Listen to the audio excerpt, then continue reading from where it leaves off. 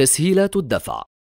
تلجأ بعض المنشآت إلى تسهيل إجراءات الدفع فإما يكون الدفع بالآجل أي أن المشتري يقوم بدفع كامل القيمة في وقت لاحق أو يكون عن طريق جعلها بشكل أقساط ميسرة أو يكون الدفع بشكل دفع متوسطة بحيث يدفع قيمة المنتج على دفعتين أو ثلاث أو قبول الدفع عن طريق البطاقات الائتمانية.